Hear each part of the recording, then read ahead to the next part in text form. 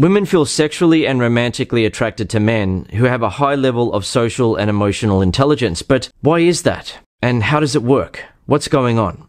One of the reasons social and emotional intelligence is so important to women in terms of their sexual and romantic attraction is that women tend to communicate their sexual and romantic interest in very subtle ways with very subtle signals and cues. And they expect men to be able to pick up on those.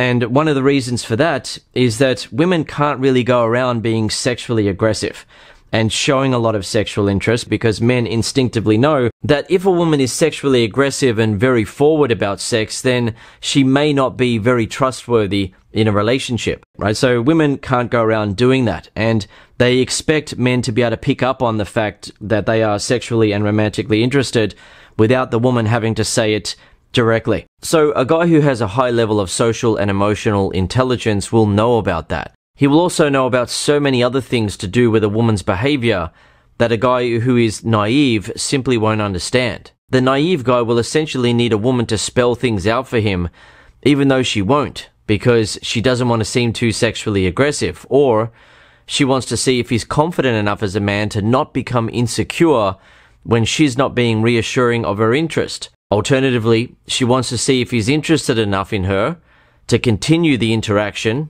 even though she's not making it 100% obvious that she wants him sexually or romantically.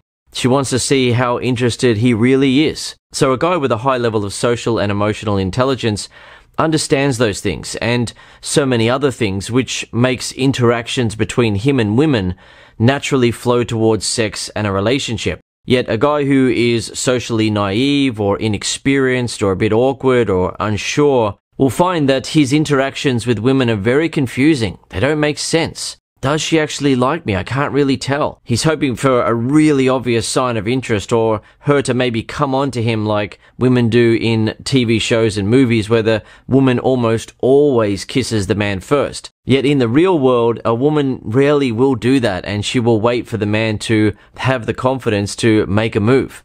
Otherwise, she worries that she may seem too sexually aggressive or she worries that the man will take her for granted if they get into a relationship where he'll feel like she's just too easy and so forth, and for so many other reasons, right? Guys who have a high level of social and emotional intelligence understand these things, and women need you to be able to understand that so things can flow from one step to the next between you and her. Another problem that women encounter if they are too forward and open about sex is that most guys will happily have sex with a woman once or twice if she says yes.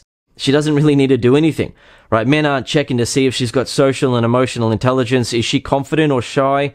If she's not very confident, I don't want to have sex with her and so forth. Most men aren't looking for that sort of thing. And most men can instantly say yes or no to having sex with a woman without the woman having to do anything else. Right? He doesn't care what she does for a living, doesn't care what her hobbies are, doesn't care what her opinion on this or that is. It's just like, yes, you have nice boobs, you got a nice butt, your face looks good, let's get it on, right? He's just an instant yes in his mind. But women, when they interact with men, they're interested in things such as confidence, social intelligence, emotional intelligence, and so on. And that's one of the things that really confuses a lot of men who look good. Some men put in a lot of effort to build muscle and some men are very physically strong. They're tough guys, right? They could handle themselves in a fight. They're not afraid of things.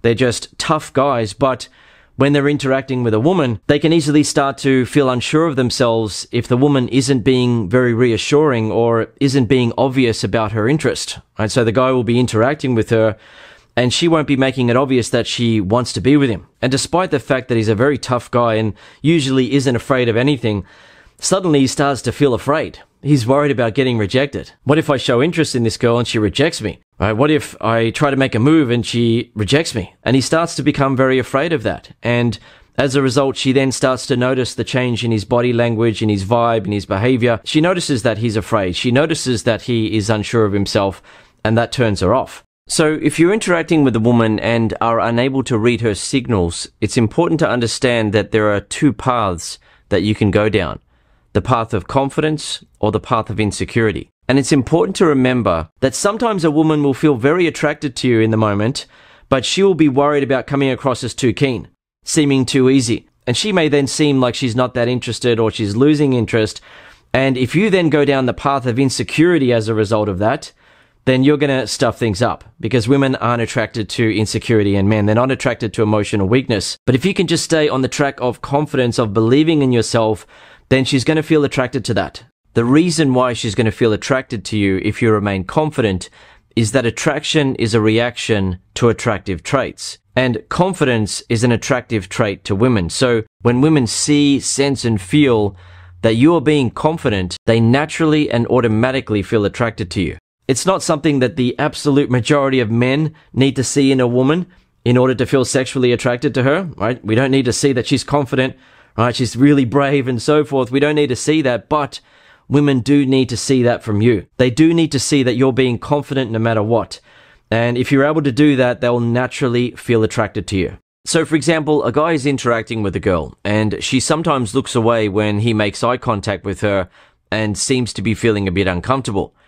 A naive guy or a guy who lacks experience with women or doesn't really understand much about women will think that she's not interested or doesn't want to be around him because she's not holding eye contact. Alternatively, he will assume that he is being so awkward that he's causing her to feel uncomfortable because he doesn't understand that women are twice as likely to experience anxiety compared to men. He has been going through his life thinking that women are bulletproof. They are so confident in themselves. Of course, they know that every guy likes them and they'll never feel any anxiety or nervousness in a situation. They're just so strong. Yet the reality is that they experience anxiety a lot more than men do. Now, a socially intelligent guy will also understand that breaking eye contact in that way is often a sign of nervous attraction. Right? The woman feels attracted, but she is nervous and she is worried about getting rejected or worried about seeming too keen and so forth. She's feeling nervous in the moment. In other cases, breaking eye contact like that can be her way of showing that she's feeling less dominant around him and therefore she is naturally displaying submissive body language. And if a woman is feeling less dominant around a man, she is going to feel attracted to him. It's an automatic reaction. So the socially intelligent guy will maintain his confidence and know that she's feeling the connection, she's feeling the vibe, she's feeling the attraction, and it's all good. And it's subtle things like that which always happen during interactions with women that result in a woman letting down her guard and getting with a guy versus rejecting him because he can't handle the little bit of pressure that a woman may put on him to test his confidence before letting her guard down or the little bit of awkwardness that can exist due to her feeling a bit nervous or anxious. And the thing is, when a guy doesn't understand what's going on between men and women, he will often assume that he's not good looking enough or successful enough even though his friends who look as good as him, or in some cases don't look as good as him, are getting laid and getting a girlfriend. Additionally, his friends are also usually at the same kind of level of success in life as well, but they don't have any problem getting girls. It's very confusing to him because no one tells him the sort of things that you've been learning about in this video. It's not something that is impossible for a man to understand. It's not a case of women being too difficult, too complex. I can't understand it. Because if that was the case, then how would any guy be able to get himself a girlfriend? You simply need to understand why women behave in the ways that they behave and why they feel attracted to certain traits and behaviors in men. When a guy understands that and he starts doing it, he notices that women suddenly then start feeling attracted to him. And if he's able to understand their signals and have the confidence to then make a move, he starts getting the results that he's been missing out on. And it's no longer a case of him missing out on perfectly good opportunities with women that just keep slipping through his fingers. And by the way, if you want to get an exclusive lesson on social intelligence that includes 32 examples of what to say to make a woman feel sexually and romantically attracted to you by displaying social intelligence, then head over to masterattraction.com. There is also a lesson on emotional intelligence with 41 examples of what to say. And the technique that I teach in that lesson is called clever comebacks. And essentially it teaches you how to handle the tests that women put you through when they say something a bit challenging to test your confidence or emotional IQ, right? Are you going to crumble under the pressure? Are you going to start doubting yourself? Are you going to start feeling like she's losing interest or that you're not good enough for her and so on? When you're able to use what I call clever comebacks, the woman knows that you are more emotionally intelligent than her and that attracts her to you magnetically. She feels so impressed that she isn't able to walk all over you, that you're able to maintain your confidence, maintain your composure, and not crumble under the little bit of pressure that she is putting on you. A simple comment from a woman or a challenge from a woman in the moment isn't something that should make you crumble as a man. By the way, I only opened Master Attraction last month, and here's some of what members are already saying. Two of the members of the MAC, that's the Master Attraction community, which you get access to when you're learning from the lessons, went out to meet women together, and this member picked up a cute blonde, and it was the first girl that he'd ever picked up at a bar. Another member went out and used the techniques that he'd been learning just in the first month of the lessons that you'll get, and he kissed six girls in one night and got three phone numbers.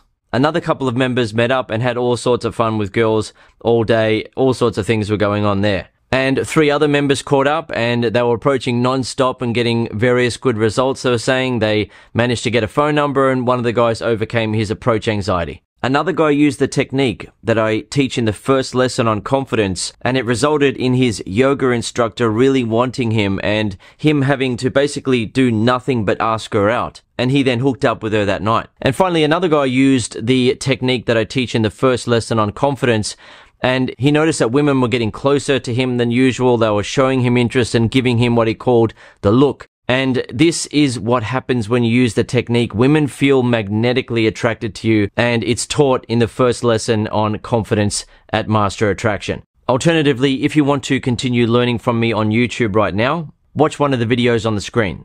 See you in the next video.